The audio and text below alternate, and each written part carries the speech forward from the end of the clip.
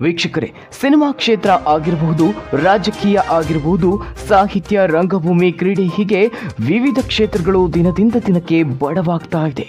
ಕಾರಣ, ಹಲವು ಹಿರಿಯ ಜೀವಿಗಳು ನಮ್ಮನ್ನು ಬಿಟ್ಟು ಅಗಲಿದರೆ ಇನ್ನೊಂದೆಡೆ ಅನೇಕ ಯುವ ಸಾಧಕರು ಅತಿ ಚಿಕ್ಕ ವಯಸ್ಸಿನಲ್ಲೇ ಹೃದಯಾಘಾತದಂತಹ ಸಮಸ್ಯೆಗಳಿಗೆ ಬಲಿಯಾಗ್ತಿದ್ದಾರೆ.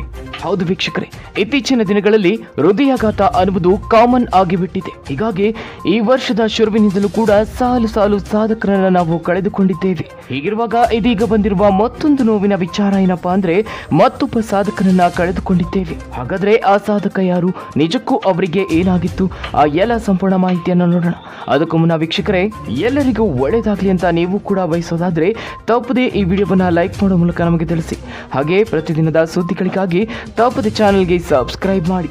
ಹೌದು ವೀಕ್ಷಕರೇ ಖೋಖೋ ಆಟದಲ್ಲಿ ಭಾರತ ತಂಡವನ್ನು ಪ್ರತಿನಿಧಿಸಿದ್ದ ತೀರ್ಥಹಳ್ಳಿಯ ಕ್ರೀಡಾ ಸಾಧಕ ವಿನಯ್ ಮೆದುಳು ಜ್ವರದಿಂದ ತಡರಾತ್ರಿ ಮಣಿಪಾಲ ಆಸ್ಪತ್ರೆಯಲ್ಲಿ ಸಾವನ್ನಪ್ಪಿದ್ದಾರೆ. ಅವರಿಗೆ ಕೇವಲ ಮೂವತ್ಮೂರು ವರ್ಷ ವಯಸ್ಸಾಗಿತ್ತು. ಕಳೆದ ಕೆಲ ದಿನಗಳಿಂದ ಮೆದುಳು ಜ್ವರದಿಂದ ಬಳಲ್ತಾ ಇದ್ದ ವಿನಯ್ರನ್ನ ಮಣಿಪಾಲದ ಆಸ್ಪತ್ರೆಗೆ ದಾಖಲಿಸಲಾಗಿತ್ತು. ಆದರೆ ಚಿಕಿತ್ಸೆ ಫಲಕಾರಿಯಾಗದೆ ತಡರಾತ್ರಿ ಮೃತಪಟ್ಟಿದ್ದಾರೆ. ವಿನಯ್ ಅವರು ಜಿಲ್ಲಾ, ರಾಜ್ಯ ಹಾಗೂ ರಾಷ್ಟ್ರ ಮಟ್ಟವನ್ನ ಖೋಖೋ ಕ್ರೀಡೆಯಲ್ಲಿ ಪ್ರತಿನಿಧಿಸಿದ್ದರು. ವಿನಯ್ ಅವರ ಸಾಧನೆಗೆ ಕರ್ನಾಟಕ ಸರ್ಕಾರ ಕರ್ನಾಟಕ ರತ್ನ ಪ್ರಶಸ್ತಿಯನ್ನ ನೀಡಿ ಗೌರವಿಸಿತ್ತು. ಅವರ ನಿಧನಕ್ಕೆ ಇದೀಗ ನಾಡಿನ ಗಣ್ಯರು ಸಂತಾಪ ವ್ಯಕ್ತಪಡಿಸಿದ್ದಾರೆ. ನೀವು ಕೂಡ ಅವರ ಆತ್ಮಕ್ಕೆ ಶಾಂತಿ ಕೋರಿ ತಪ್ಪದೆ ಓಂ ಶಾಂತಿ ಎಂದು ಕಾಮೆಂಟ್ ಮಾಡಿ ತಿಳಿಸಿ.